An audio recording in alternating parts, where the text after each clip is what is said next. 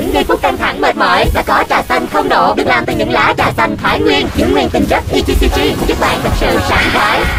Trà xanh không độ, không lo căng thẳng mệt mỏi, giải nhiệt cuộc sống.